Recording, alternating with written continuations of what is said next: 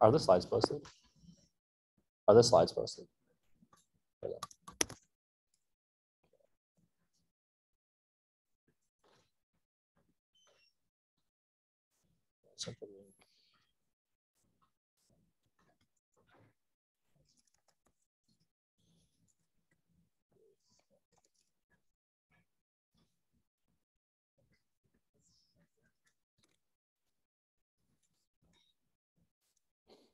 Hold on.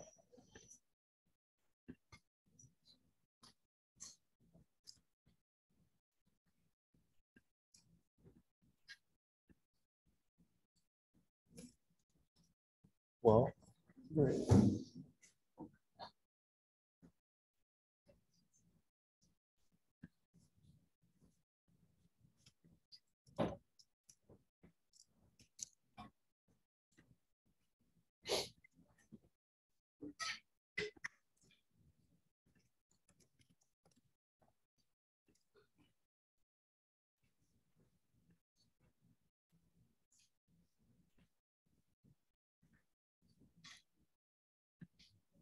okay.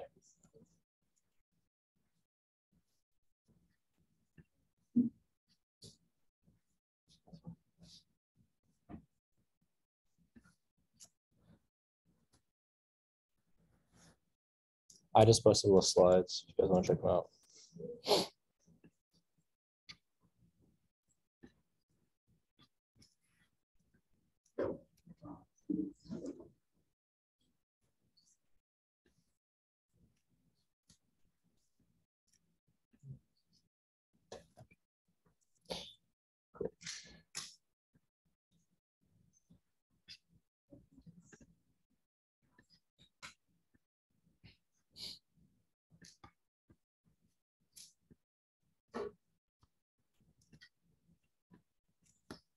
Okay, everyone, welcome to lecture eight, Intro to React.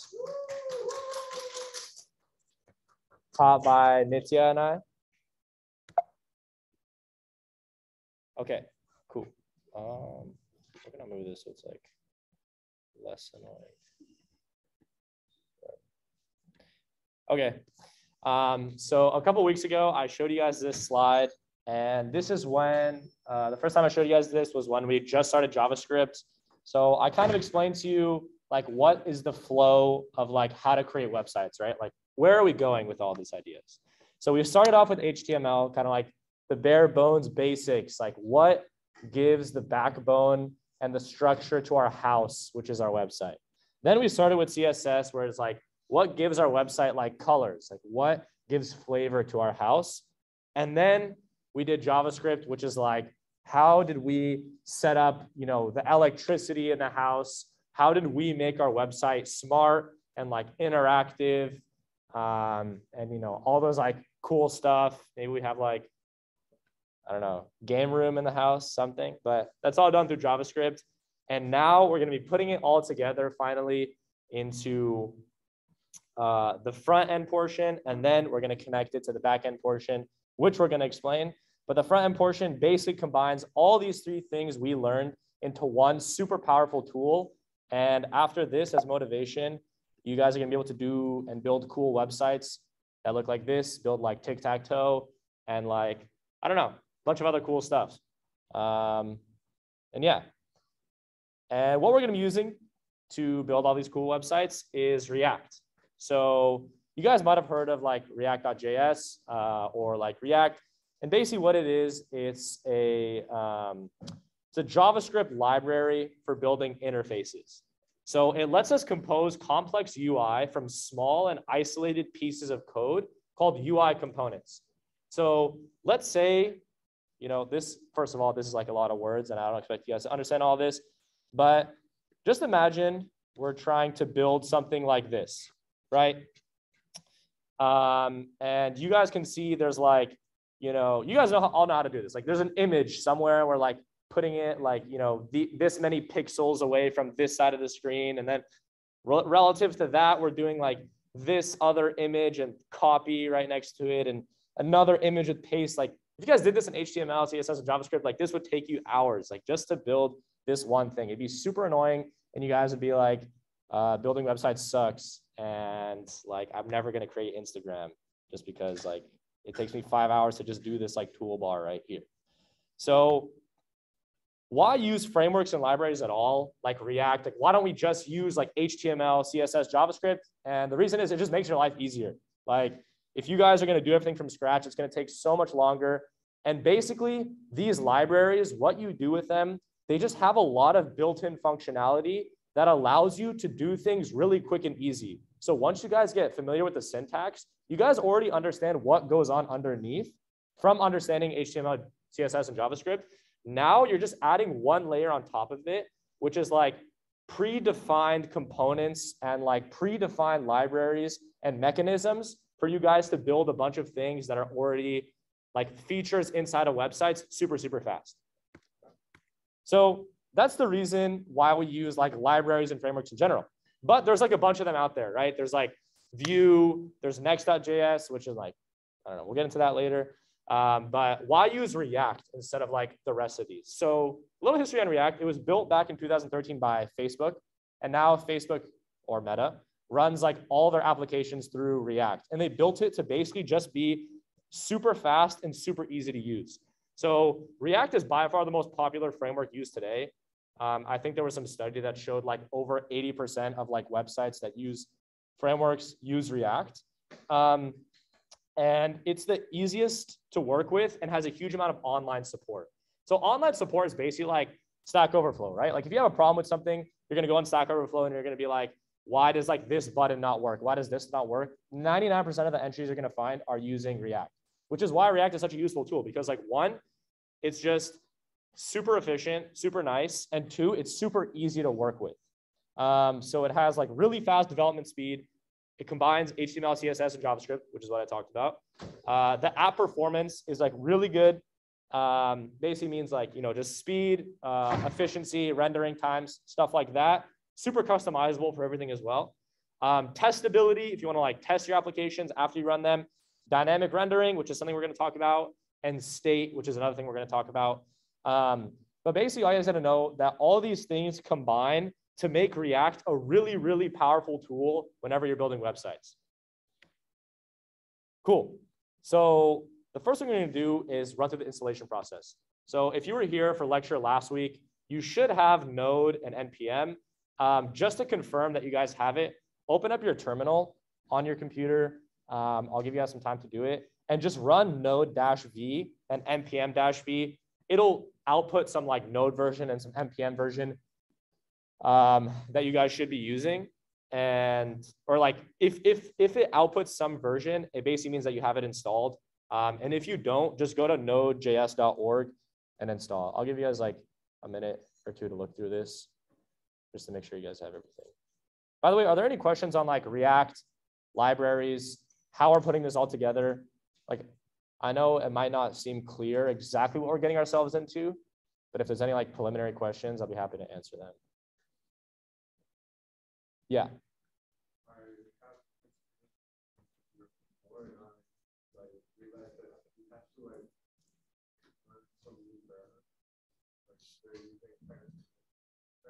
Yeah.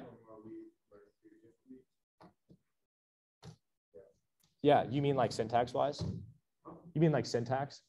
Yeah, I mean like, um, for example, like for the HTML, like Yeah, we have to use class name instead of class. right, Like, those kind of things. Right. Yeah, you're right. Yeah, there's a lot of things I think in React that are gonna feel like it's a lot, but if you start understanding what each component is and what it does and what everything means, you guys are gonna have a good time. Like, it's gonna be easy to understand the rest. So yeah, there is a lot of syntax that you guys are gonna have to go through at first. Um, but once you kind of get over every, every over everything, it's like super super exciting. I mean, it's really like such a powerful tool. I mean, the first time I saw it, I saw like a bunch of these like libraries, a bunch of these like files that they give you when you download it. But I'm gonna try and walk through all of them with you in lecture, so you guys like have no confusion about what's happening. And then through your guys' like tic-tac-toe problem and this like blockstagram problem homework we have for you guys, um, that's also gonna be like super helpful in like you understanding what React is and like what it can do. Okay, cool. Are we like all set on this stuff? Anyone need more time to do this? Anyone have, everyone has it installed? Okay, cool. Now we're gonna go through some useful tools before we get into React. Um, so when you guys are building out your projects, it's gonna be pretty annoying to like, when you have a huge code, like some of your code like might be scrambled, some like might have like weird indentations here and there.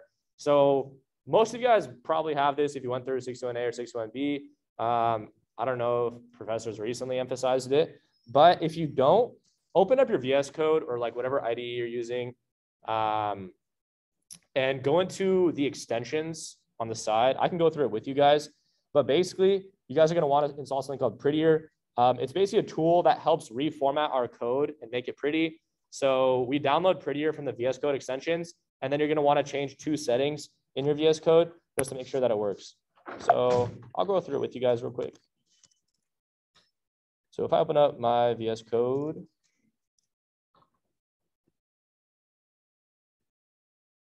um, I'm gonna go to extensions on the side, and then I'm gonna type in prettier.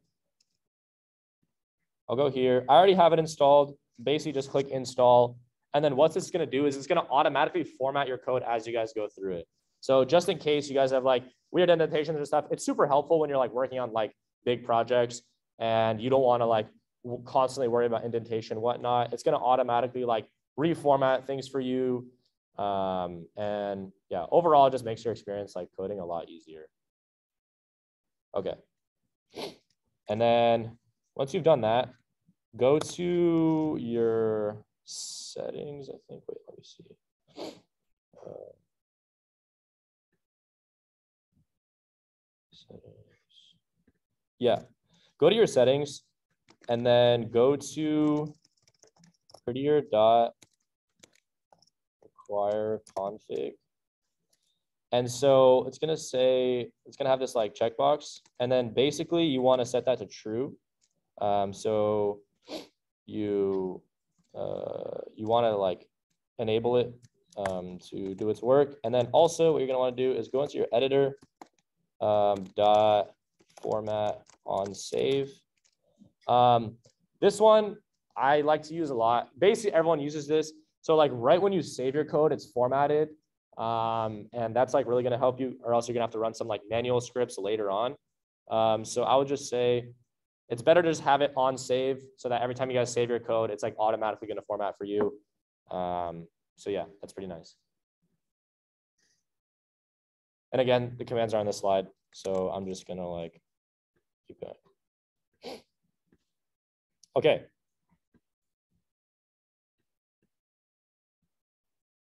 Cool. Another one we really like to use in the industry is ESLint. Um, and basically ESLint just enforces code style in projects. So when you start new projects, uh, you're gonna wanna use ESLint to keep your code consistent. Now what ESLint basically does is that you can set different types of rules. Right? Like let's say you're working on a project, right? Let's say you just joined Google.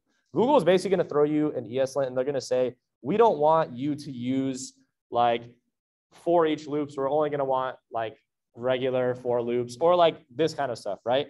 So basically ESLint in your own personal projects just enforces code style so that all your code is consistent. You're not like doing one thing somewhere and then doing it a completely different way somewhere else. And this basically makes your code like a lot more readable, right? Because like if you share it with people or like you're submitting this code for review or like someone's looking at your code, they're not going to want to see like 15 different styles of like how to do the same thing um, or like 15 different like formats and whatnot. So basically ESLint combines with Prettier to just make your code a lot more efficient and concise.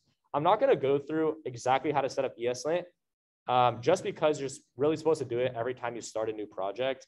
Um, but in the notes um, of like lecture content and on like material, uh, you guys can look it up and there's literally just a step-by-step guide on like how to go through ESLint. It's super easy. Literally uh, I think you also just like run a command in your terminal and then you download the extension and then ESLint is like automatically in your project.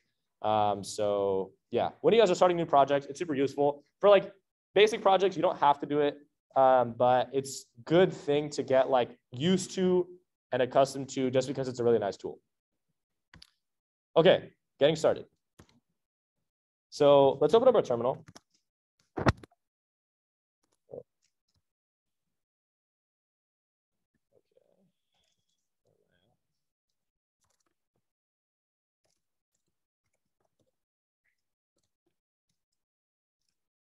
Okay, cool. Um, I'm gonna make a new directory. Oops.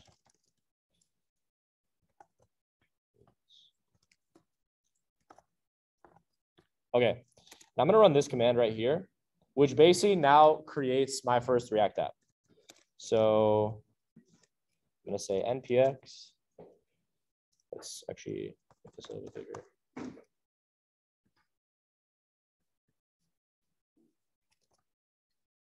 I'm gonna say npx create. Oops. Sorry.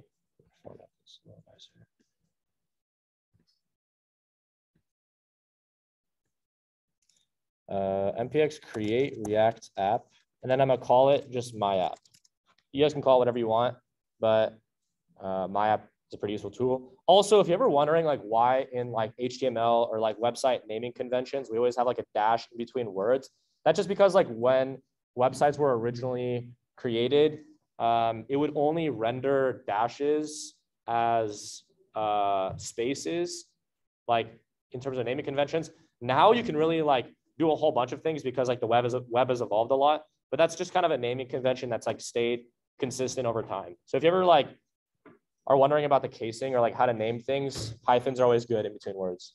Anyway, so I'm gonna run this and it might take a little bit, but basically what this command does is um, it's now creating a React project uh, in this folder that I just wanted to run it in. Um, so it's creating like all of the, it's like downloading all like the external like libraries we're about to use, like dependencies, um, and all of this like metadata and a bunch of other like useful tools we're like putting together and we're now putting into this project just so that we can um, get started, you know, working on something. Um, anyway, do we have any questions? Maybe like you thought of one about React or like what it is or like why we use it and not just like HTML, CSS, JavaScript or how it even relates to those three. If you're even confused about that, like anything. Okay. Yeah.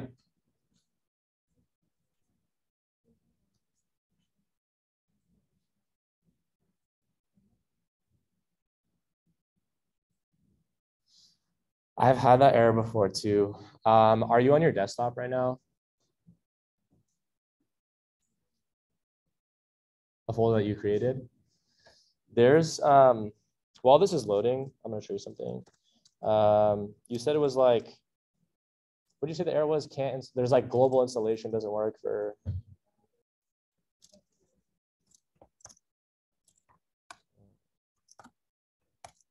Yeah. I've actually had this.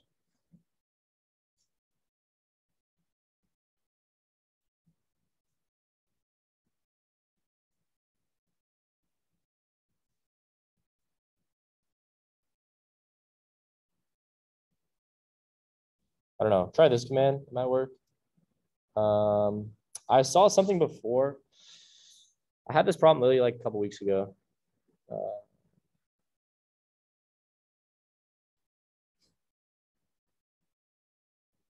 I guess you can do this and then rerun it.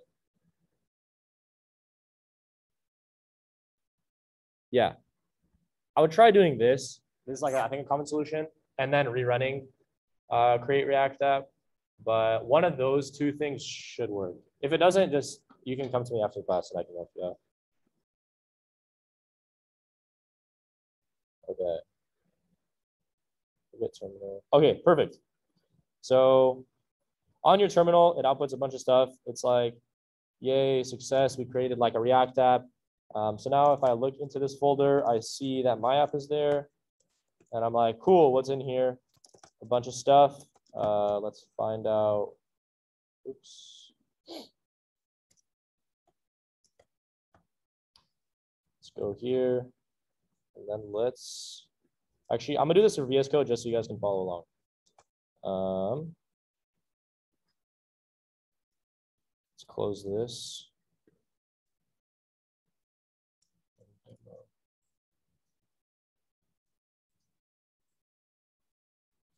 I'm gonna say file, open.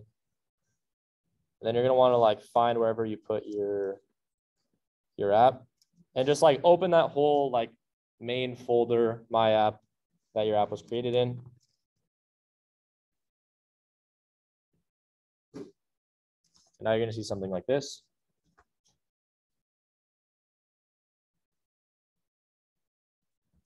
Any questions on anything thus far? Stuck?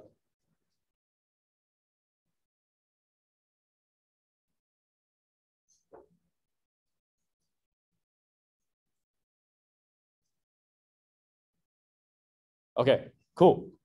So this is where the magic happens. Now let me talk you guys through what we just like created. Because usually we're just used to like some index.html and then some like CSS folder and then like some scripts folder, right?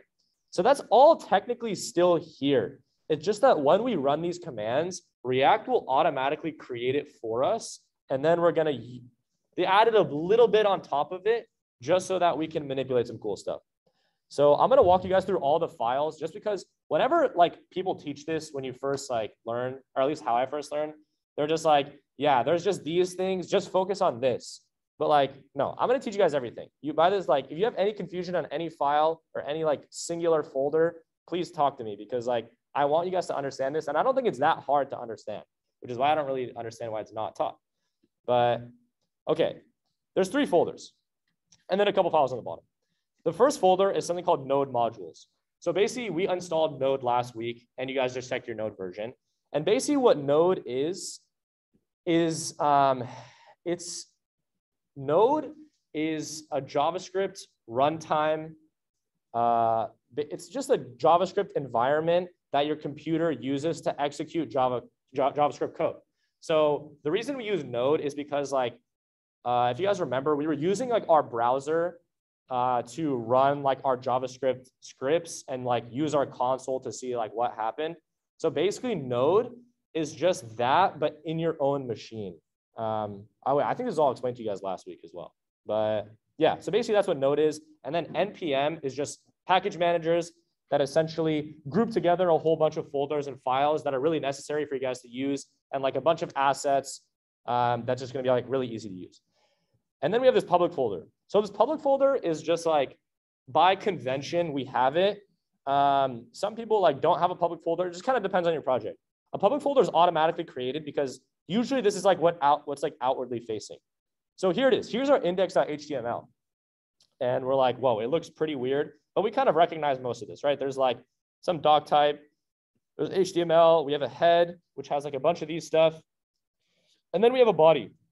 And this body is saying, there's like some no script thing here, which basically means like don't run this. Um, or sorry, no script means that if you don't have JavaScript enabled, it's just going to be like you need JavaScript to run this app. That's what no script means. And then we have some div element, right? And we're given an ID, which is root. So if you guys remember from like the HTML uh, lectures, the we can create any types of like div elements. And basically, there's just one div element in our index.html um, and we're injecting something into it. So to see what's actually happening right now, let's open up our terminal. Um, let me go to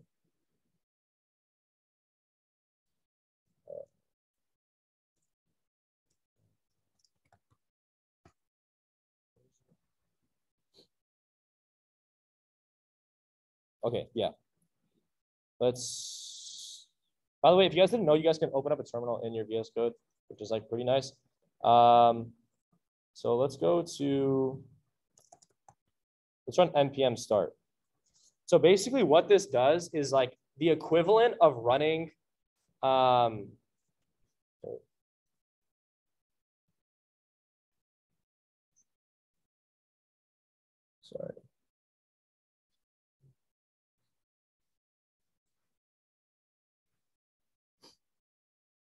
Okay, here it is. So it's the equivalent of like when we looked into our index.html, except now it's just like there's a couple things running behind the scenes. So we need to run a command.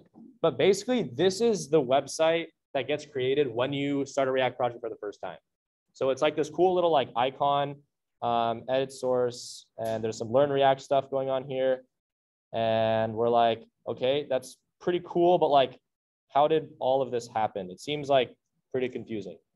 Um, so let's jump back into our index.html. And then if you guys want to get out of this, um, you guys can just do control C. Okay, cool. Click out of this. Um, so if we look at the public folder, we notice there's this like uh, little like image here. We're not sure what it is, but we kind of recognize it. That was on the page. Um, we see another image and we see the same image like three times. We're like, what's going on? Uh, we see this like JSON folder and we see this robots.txt folder. This one is like what you really don't have to worry about. Basically, this folder is just saying, um, if you like recognize that there's like some uh, like computer that's like trying to gain access to your website, you can like limit certain functionalities. This is a bit more advanced. Honestly, I never have used this in my life, but if you're like concerned with like security and stuff, maybe you work with this. I don't know. Anyway, the important stuff though is in the source. Um, so we can see there's like some CSS files, there's some JS files, and most importantly, there's this index.js, which we're gonna look at right now. So we, keep, we see a couple of these import lines and we're saying like import React from React, which is basically meaning uh, React again is a library. And this is just a regular JS file. So we're trying to import React, the library, so that we can use React functionality inside of our JavaScript file. So we're saying React from React, uh, React DOM. Uh, and if you guys are interested what the React DOM is, we talked about the DOM in a previous lecture, which is basically the stack of objects that's represented inside of an HTML website. And so the reason why React is so efficient, you guys can look at this in your own time, but the real reason why React is so efficient is because they built something called a virtual DOM. And basically what this is, is like when you're going through a regular HTML website, every single object is created every time one thing in the website is manipulated. So if you just want to change like one little, like if you want to press a button and then like one thing shows up on the page, every element has to re-render on a regular HTML page. The reason React is so fast is because they built something called a virtual DOM, which is basically their version of the DOM that communicates with the regular DOM, except you only re-render what you need to re-render. So we can talk about this more in like a future lecture. It's a little more advanced. And you guys can read about it if you're more interested. But that's the real reason why React is just so amazing. And honestly, it just gets me super excited. But the important thing is here, React DOM.render. And you guys can see there's some stuff going on here. And then we're saying document.get element by ID root. But we've seen this before. We've seen document.get element by ID, for instance, like when we're trying to access a button or like a label or something on a page, we got the element by ID, and then we did something to it. So basically what React is saying here is that we have this index.html and we have this index.js. Forget everything for now. We'll explain it later, or we'll get into it in a second. But what React is saying is we want to inject whatever is returned to us by this piece of code inside the document which is the index, and we're getting the element by ID root. So the reason why all that stuff shows up, even though we just have one line of code in our HTML, is because we're doing a bunch of stuff somewhere else. And then we're saying, load all of these things into this root div element, which is why you end up with the page that looks like this. Okay, are there any questions on the main thing? I'm about to dive into like the subparts of this. Yeah. yeah, of course. no worries. You're good. You're good. Basically, React is cool. No, I'm just kidding. But um, basically, what React is doing here when you create a project is it's loading a bunch of information into one div element. So we're using React as a library to create a bunch of things happening on the side. And then we're saying, okay, take all of these things we just created. So imagine we take, we like, we built like, uh, like a nav bar, and then we built like an image, and we built like a like something underneath, right? It's basically saying take all of those elements we just built on the side and just inject them into our HTML. And all that stuff, oh, is it HTML? Yeah. We'll get into what that stuff is in a second, and Nitya will talk about that more in her lecture. But I'll just try to explain the rest of the file structure. So basically, we have this index.js. And if you look a little closely, you see there's like react.strict mode, which you guys don't have to worry about for now. It's basically saying like we're running this kind of in like a safe environment. Um, but the main thing is that this app thing, think of an app as kind of like a function. It's called a component, which Nitya will explain, but just think of it as a function that just returns some HTML to us. And basically we're saying this HTML that's returned to us, we're then we're gonna vomit it onto this root element that we found. So basically let's look into app and let's see what app.js is. And then we find it has kind of a similar style to our last file. Uh, we're importing some stuff and then we have some function and then we're returning it. And basically what's happening here is we have some function called app and we're literally returning HTML. So what this is called is JSX. It's not regular JavaScript because we're interacting with HTML in JavaScript. So therefore we combine terms and we call it JSX. And what JSX is, is you're using JavaScript to manipulate HTML. It's actually a really cool thing um, that you might not appreciate for a little bit, but I, I promise you it's, it's amazing. Um, but if you look inside the function here, you can see we're returning some div element and we have some class name app. And then we have some header, uh, which is like some header tag. It has a class name. And then look, we have the image. We look back to our screen. We're like, oh, where did this image come up? Boom, it's right here. It's like we have some image here that we're injecting. Um, we have some paragraph tag, which we've seen before, which is saying edit, and then some like code tag. I don't really know what that means. And then like and save to reload. We're ending the paragraph, and it's like boom. This is all right here. And then it's like we have some link, which is then directing us to this link right here, which is react.js.org, which is exactly what this is doing. So now we can kind of like see the pieces that are coming together, right? We see this index.html and we're like, uh, we don't see this image, but okay, let's look in index.js. Okay, index.js is like injecting this app into our root element, which is why we're getting everything. Okay, now what is app, this function that's returning everything? What's inside of this? Oh, inside of this is just some JSX, which is basically explaining some HTML elements, and it's doing also, you have the ability to do some JavaScript on the side, um, except this right here is basically all HTML. Um, if I wanted, I could like do some cool stuff and like, you know, let's say let x equals five, which we'll actually do right now. So let's say uh, we've seen like JavaScript like this before, right? Let x, and I'm giving x um, some value, which is five. And then let's say I want to include some paragraph tag, maybe somewhere like on the bottom.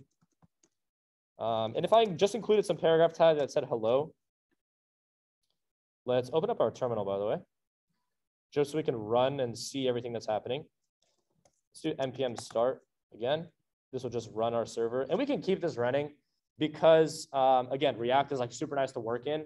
And basically, every time you update your code, you're going to be able to see uh, it dynamically changed. And boom, you can see at the bottom that there's a hello that showed up. And we're like, whoa, this is like starting to make sense, right? We're interacting through these like weird layers that we're going to slowly understand over time uh, to input some HTML. So now let's do something else. So we just defined this variable X. We didn't do it for no reason. Let's go into our paragraph tag and then let's do these semicolons and put X in here. Now, what, uh, also let's change this to an H1 just so we can like see it better.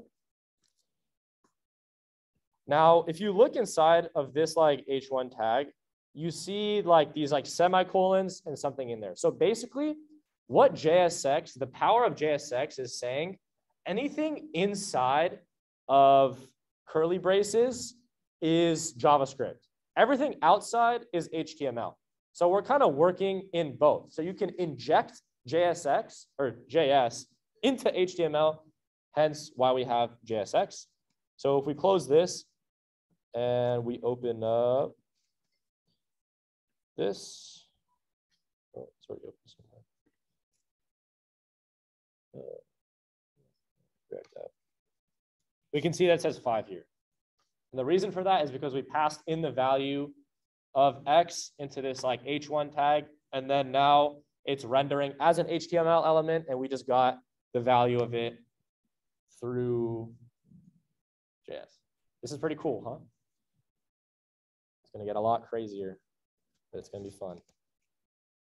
Okay, any questions about what we just did?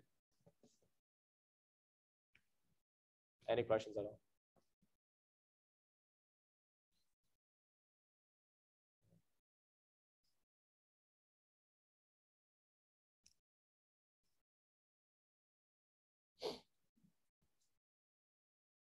And if you're really wondering, we can do also something like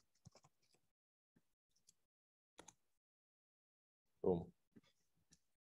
So you can be really dynamic with it and do like a bunch of stuff here and there. Um, and then these other folders, by the way, we've seen them before. It's just like CSS stuff. Um, so it's basically just giving values, CSS values um, to everything we just created. So we can see here that there's like app, which is like the governing, uh, which is basically everything inside of app. And we're saying text align, just make sure the text aligns to the center, which is exactly why this is in the center. Because if it wasn't, let's do this. It would be on the left side. Um, you can see there's an app logo. Uh, it has a height of this. I have no idea what that like metric is, but you guys can read about it if you want. There's an app header, which does some stuff, app link. So again, this is all just CSS that governs the app. And then it's like an index.css. And it's saying um, there's like some body governing stuff. And then the code tag that we saw earlier is just saying like format it in this way so that it comes out looking like that instead of just like regular text. Now the stuff on the bottom, git ignore. Um, so this is mainly for GitHub. And it's basically, you can manipulate this file to tell GitHub what to do if you're like testing or deploying to production and whatnot. Um, you guys don't have to worry about this now. It's, it's not relevant in terms of what you're building. But again, I'm just telling it to you guys so you guys aren't confused about it later It has nothing to do with your application. It's just about when you're pushing stuff to GitHub, you can do some automatic testing um, before it commits, just so that your GitHub is always like pure and clean. Um, and then we have these two things, which I'm about to talk about. So package.json is, you guys don't have to understand this again, but if you're interested, I'll explain it to you. Package.json is basically just telling you like, this is the metadata of your application. So we had like a header, we had like a head, right? When we were doing HTML, and that explained the that explained the metadata of your HTML site. Now package.json is basically just listing all the dependencies, and dependencies are like what is it dependent on to actually run. So if you can see here, um, for instance, ESLint, what I talked about earlier, like that's a dependency, right? We depend on that in our code, and we're allowing it access to run and do some things into our code, right? Um, we have some other dependencies, for instance, React, which is the main one that we have, um, and some other stuff going on here. You guys don't have to understand it, but all you need to know is that this is what your website depends on in terms of like information that's downloaded from somewhere else. And the reason this is important is because let's say I share my React project with you. I've been working on this project for like a year. And I have like so much stuff in it, so many dependencies. What NPM does is because it's a package manager, you simply run NPM. It looks at this folder and it's like, oh, I see I need to download this, this, this, and that. NPM basically looks in this folder, sees exactly what dependencies you have, and automatically downloads them to your computer so you can instantaneously run someone else's project even when you have none of the dependencies. So you don't have to go through because um, mean, it must be pretty annoying to go through like every single library that someone's importing, right? Like, let's say like I'm using some like CSS library that's allowing me like some cool functionalities, whatever. I'm importing that library. I'm importing every other library. If I download each and every one of those, it's pretty annoying to tell someone like, hey, download this library, download this library, download this library. That's all basically abstracted for you so that NPM will just download it all for you based on this package.json. So it's important, but do you need to understand it? I mean, now you do. That's the extent of what you want to understand. Package lock dot, uh, dot JSON is essentially um, a little more in-depth dive of all your dependencies. Um, again, it's not that important to really understand when you're going through it, but I want to explain everything just so that you're not confused. If you're really confused on like this other stuff, you guys can look through it. Um, again, I honestly, I never use this kind of stuff, but like if you're reporting like web vitals, so like, I don't know, maybe you're doing some testing. I don't know what this is, or like you're setting up some tests, you can do them in these folders, but really everything else is unnecessary. Um, and yeah, these little things are called components and you'll learn exactly what they are with Nitya. And that's the end of my lecture. And we can take like two or three minutes just for like a little break. Cool. And if you guys have any questions, also like feel free to come up, ask me.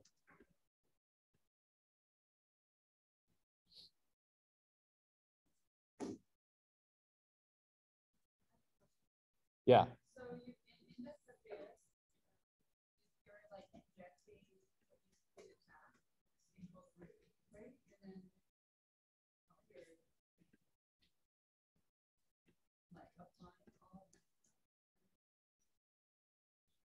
Yeah. So basically this div element that we're setting in index.html, I mean, we have a div element, right? I could just name this like, I could literally name it whatever. And if I go into my app.js, uh, so in my index.html, I have this div element, whatever, and that's what's like running my page, right? So if I go back, I'm like, whoa, where did everything go? But that's because my index.html is what's loading everything. So I'm not passing anything into it. And now when I go to my index.js, I'm saying like, uh, okay, I'm get element by ID root. Oh, wait, it's not called root. It's called whatever. And now I'm passing everything back into it. So like, uh, I don't know. Does that answer your question? Yeah. Basically, app is some some JSX that again we're exporting at the very end by exporting this default app. And what it's doing, it's called it's creating a component, which is the real beauty of React. You create components because they're just reusable code that we can just start using like whenever we want. So if I want to create like 15 apps, if I did in HTML, I'd have to copy all of this code. And then this is like a common thing in computer science, right? It's always like redundancy issues. Like I don't want to have to like copy my code 5 million times everywhere I want to do it. I want to do a for loop. And then there's like a while loop and then all these things. And now we have React, right? I don't want to make like one component. If there's like one page that I'm using in all of my other pages, why would I have to rewrite that code for every single page? So like for an example, right? Let's say I have like some header. Let's say I'm Instagram and I have some footer. And like I have like the home page, I have like the like page, I have the share page, I have like my friends and my own profile. I don't want to have to recode that footer every single time. I'm just going to put that in a component. And then every time I load a page, I'm just going to load that in at the bottom. So that's basically what components are. And Nitya will go like way more in depth into actually what they are and their uses. That's kind of like a high level overview. Does that make sense? Cool. Any other questions?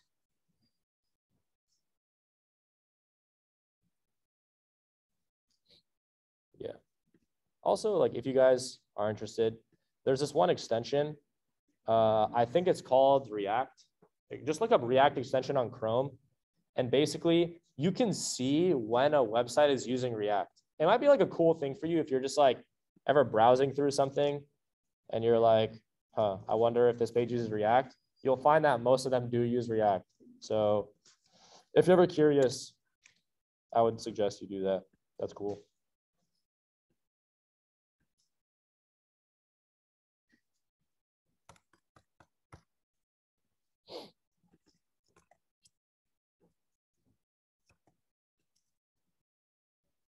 Sorry. Yeah, I can. Yeah. Oh, yeah, yeah.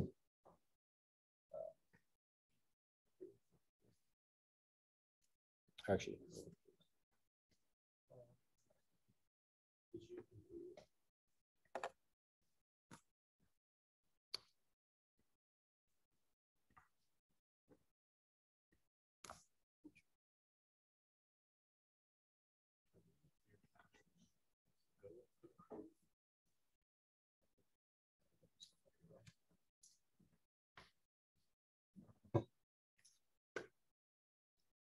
And also the slides are like, Where are the slides? it's, um. No, you're good. I just, I, Oh, I this like, is backwards. Oh, oh, yeah, it is. All right. look at that one. Yeah, I just like minimize everything, but Uh, I'm gonna just full screen everything. Do the opposite. makes sense. It's probably. better.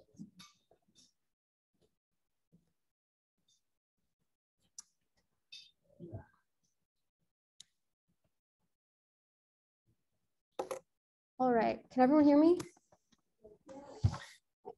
Okay, I'm just gonna go ahead and get started with the second half. Um, oh my God, this is backwards. One second. Okay, so let's do a little bit more JSX before I get into components. So first of all, let's go to app.js. Um, the first thing I want to do is let's just delete everything here. I don't really need it and then save. So I want to open my terminal. Yeah, you can see that.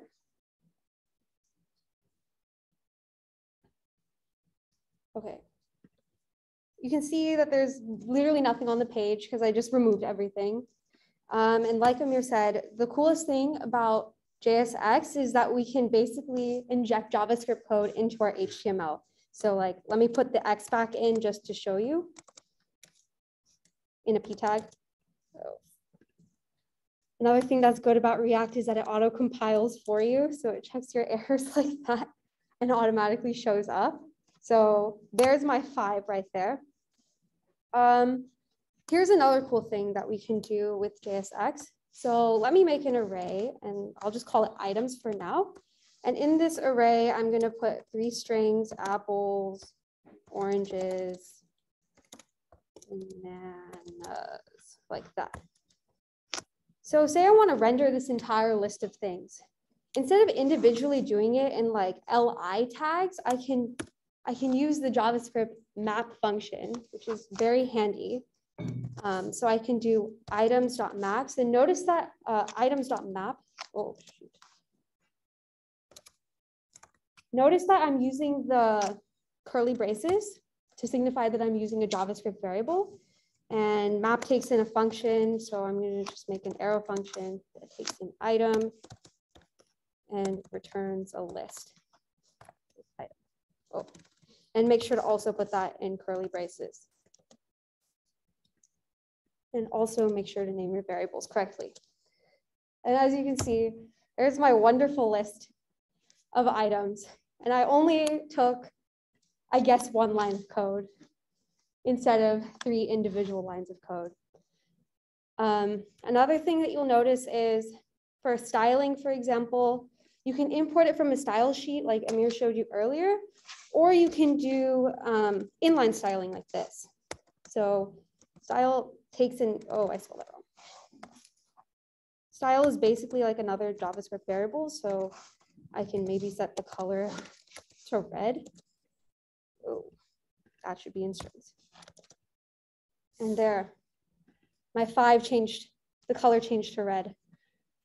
So there are many ways to do styles. I think the best way, especially in huge projects, is to make a separate file and do styling from there. But if you just need something quick like this, then do it like that. Are there any questions?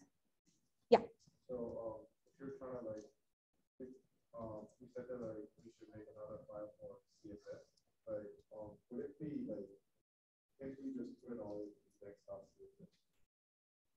Um, you could put it in index.css and I guess in, in every component import from index.css, but just for like readability sake, especially if you're working on big projects, it's better to have separate CSS files for each component that you make.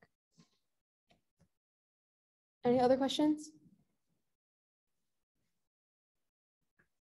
Okay. Now that I mentioned components, let me make components now. Um, so the first thing that I want to do is show you what maybe something would look like without a component. So like say I want to just make a button that says click me, just like that. No functionality, it's just there. But what happens if I want like six of these buttons? Five. If you're just using pure HTML, then you're gonna have to copy and paste this line five times. Or what if you want 100 buttons? Like what if you have a huge app that requires 100 buttons?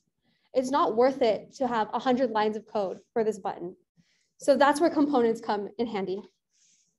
Um, so let me show you how to make one first. So in your source, uh, right click and click new file.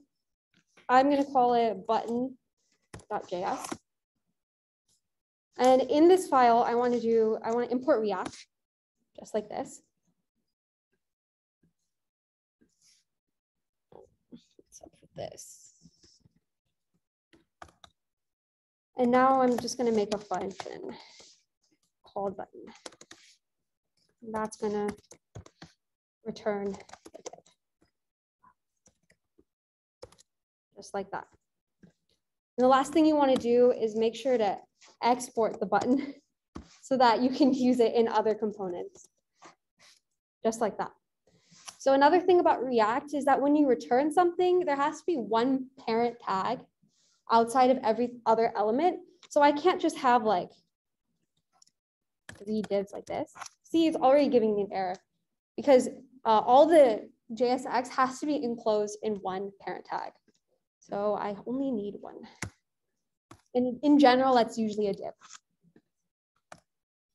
Okay, and in this button, let me go back to app and delete all this. And copy and paste this button. Just like that.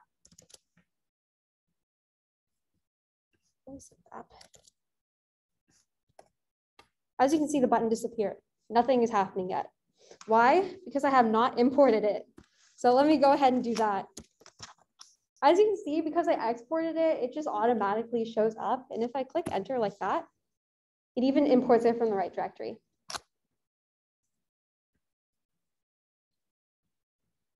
So now, now that I have this button imported, let me just call it like this. Another thing is components can be I think either self-closing or they can have a closing tag. I'm just gonna make them self-closing for now. And as you can see, the button shows up. Okay. So what's exactly so cool about components? I just copied and pasted code, right? Here's another thing that's really important to know about components. They have this thing called props. So I can pass it in like this. And essentially what props are, are just a way to pass data in. So you can think of React kind of like a tree where there's a parent component and then there's a whole bunch of children components. So button in this example is the child to app.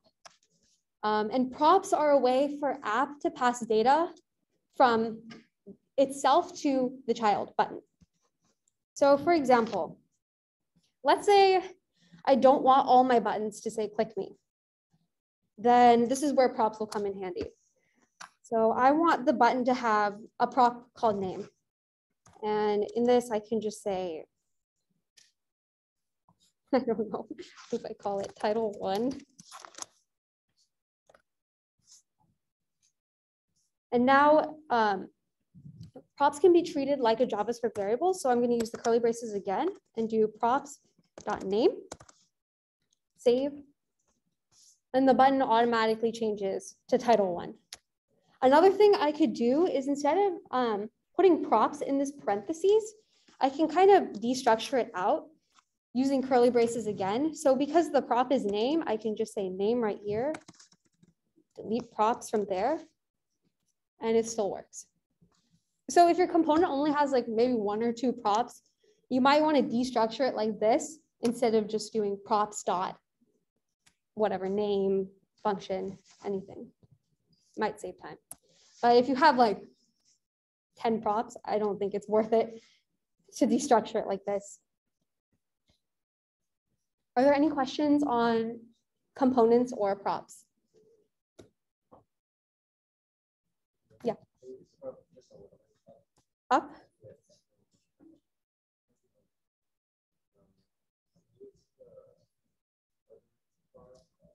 The app? Did you want to see the import?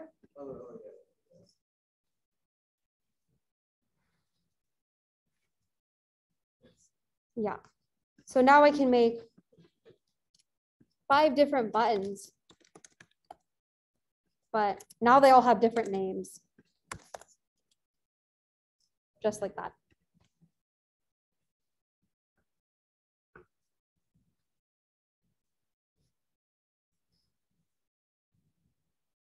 Any questions on this? Is this working for people?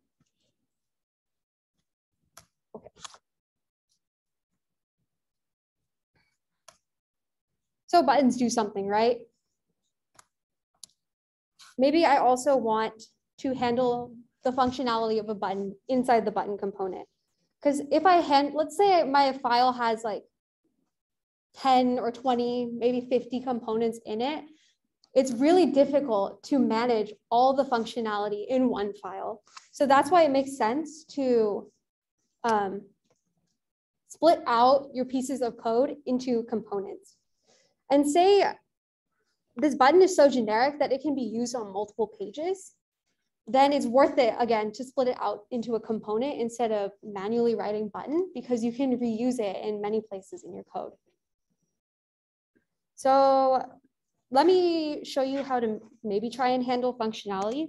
So I'm gonna add another prop. Let's call it clicked, click. Um, that's gonna take a function. Let me just define the function in here. No. Let me close this. This is so weird. So I can do function handle click. That's just not going to take anything. And then I'll just do a simple example of alert. Clicked, just like that. Oh, what just happened? Ah. So now I'm going to pass this function into here.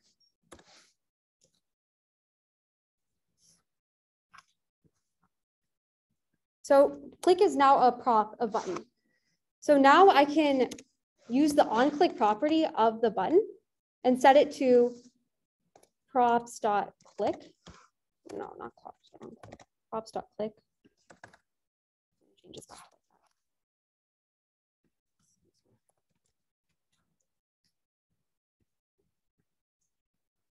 And now these buttons work.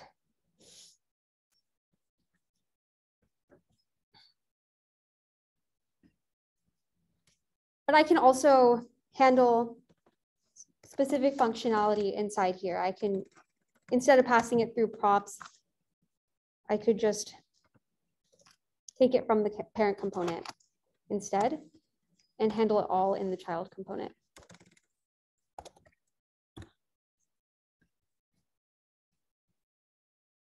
Let's delete this prop. And it still would work. So this is how you use JavaScript functions in your components.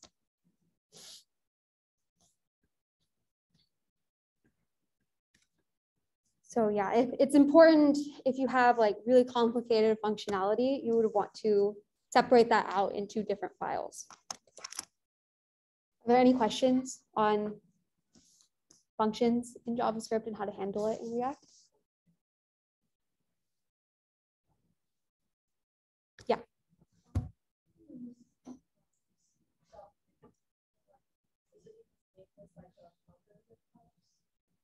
Yeah, name is like one of the data points that we put in props. So like I defined name here in the parent component. So props are always defined in the parent component and then they're used in the child component.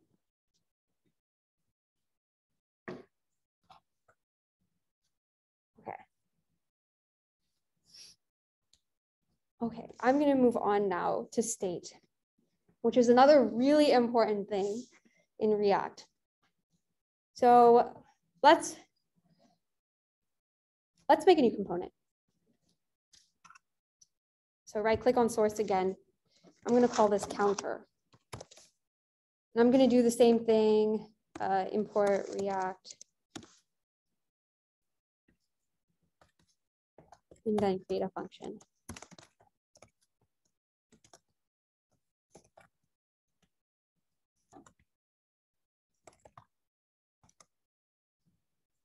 And finally export it.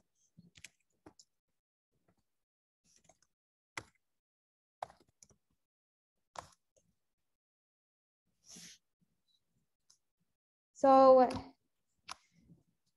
state essentially is a way to handle data inside the component. So props is a way to pass data between two components. State is a way to manipulate data within a component. So the way we work with it in React is through something called a state hook. So from the React um, package, I'm going to import use state make sure to use curly brackets like this because there are a lot of other hooks. So useState is a hook. There's a whole bunch of other ones. Um, and today we're just going to be using useState. So let me show you how to use it. So I'm going to have a const variable. I'm going to call it count and set count and say use state zero.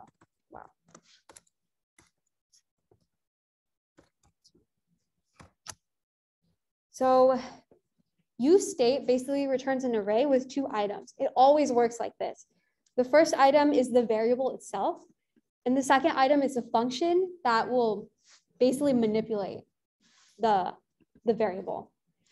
So it's smart in the sense that whatever variable I pass in, it'll automatically assign that type to the variable that is returned.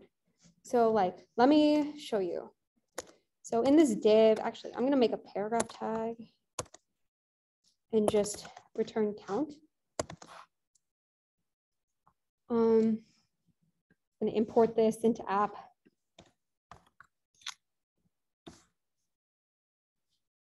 And then make sure to call it down here.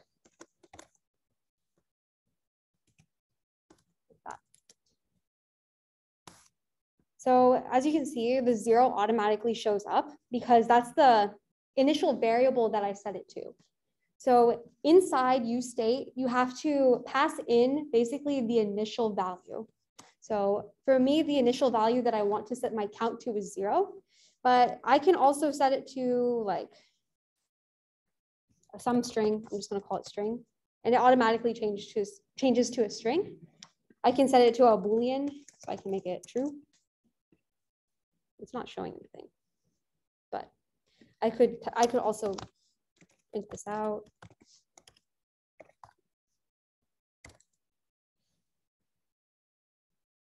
Let's inspect this really quickly. What happened here?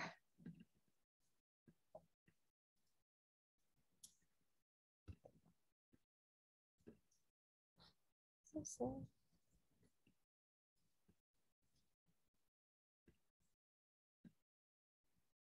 And on my console, you see true.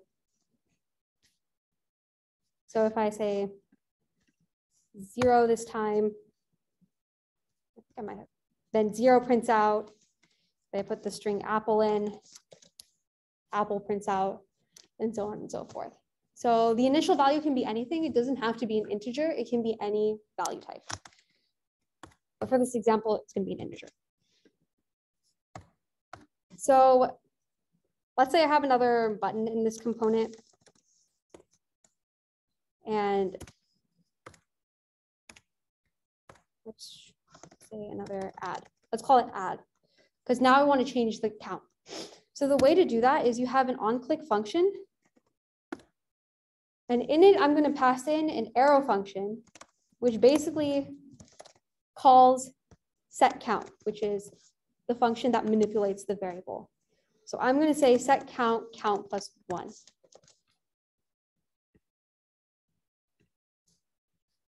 Okay, so my button shows up. Let's see if it works.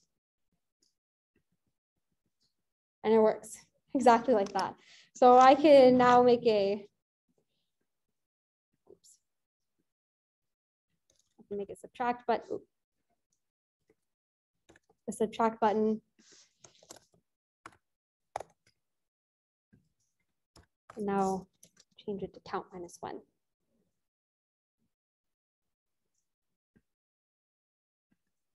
And it'll subtract.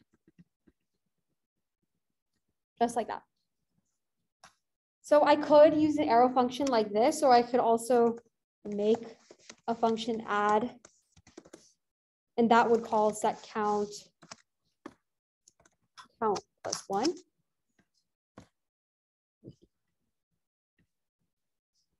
And I can just call that here. I could call add.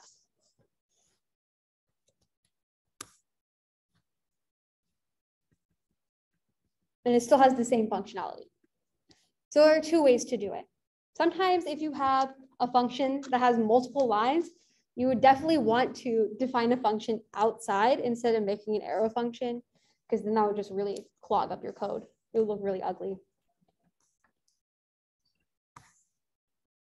Okay, that was a lot. Are there any questions on state right now? Um, Can I see the counter from the app.js? Counter from app.js? Sure. So I imported it like this. And then I just called the function. Yeah.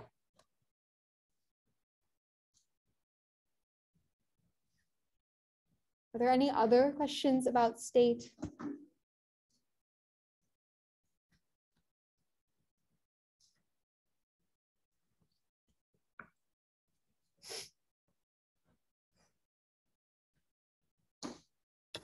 Okay, do you guys need a minute to get caught up or can I move on? Okay, I'm gonna take that as, let me move on. Okay, the last thing I wanna cover is something called lifting state up, which is a little bit of a tricky concept. But basically, we have props to pass data from a parent to a child, right?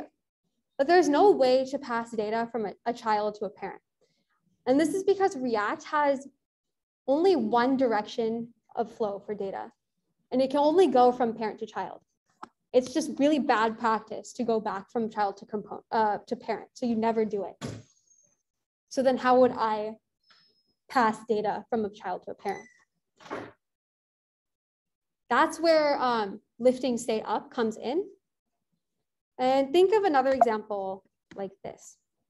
So I have the parent component A and two children, B and C, which are basically siblings, right?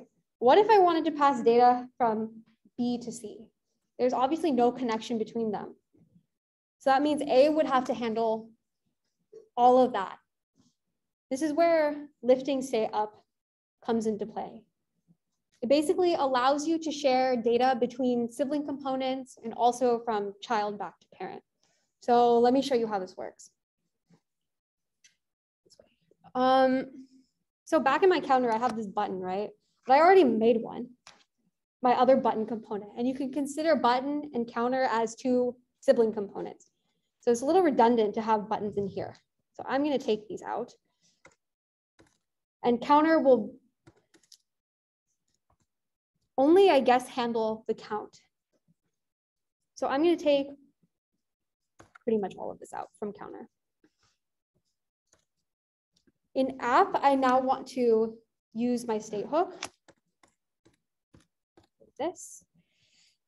I'm gonna make sure to import, oh I gotta import React.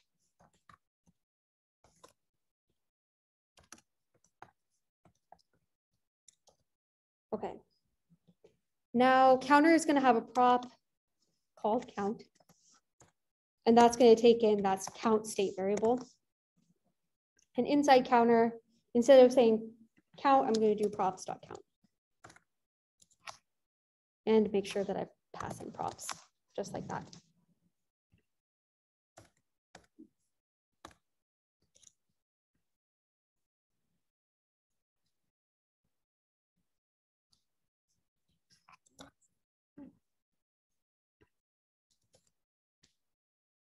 Okay, nothing changed. It's still the same. So let me delete two of these buttons. So let me make another prop for button. So in, I'm going to change this one to have a title of add and this one to have a title of subtract. And each of them are going to have properties click.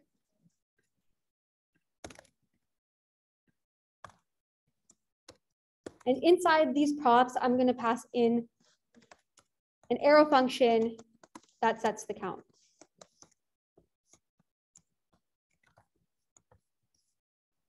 And I'm going to do the same thing to this one, just like that. Count minus one. And I'm going to make sure that inside this button component, I'm not calling handle click. Instead, I'm going to call props. Whoa. Props dot click to make sure that I'm calling the right function. So the buttons changed and everything. And now they work. So this is essentially lifting state up. I'm passing in a function. All the data is being kept track of inside of app, but the components, the child components are the ones that are actually mutating the data. So this ensures that one component is keeping track of all the data but the child components can still mutate it. Does this make sense? Okay. Are there any questions?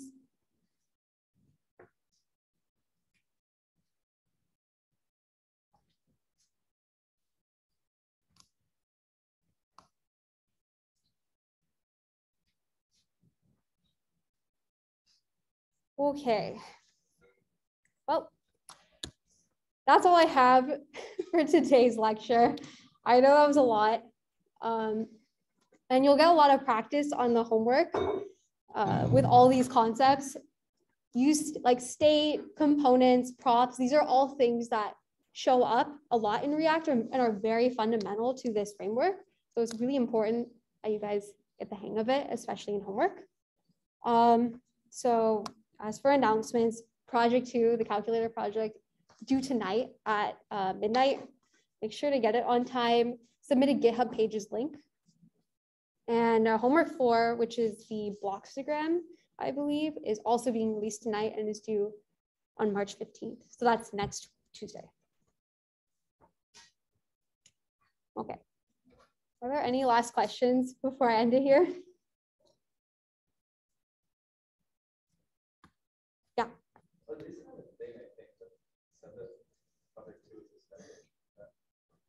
Oh, was project two extended? Uh, If it's on Piazza, it's then, on it- Piazza, it's on Piazza. Yeah. okay, And yeah, then it's been extended. Please check Piazza. I did not see that.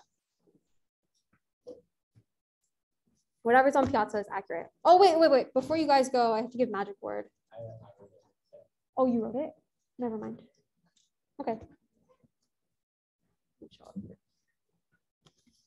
Okay, you guys are free to go. Thank you.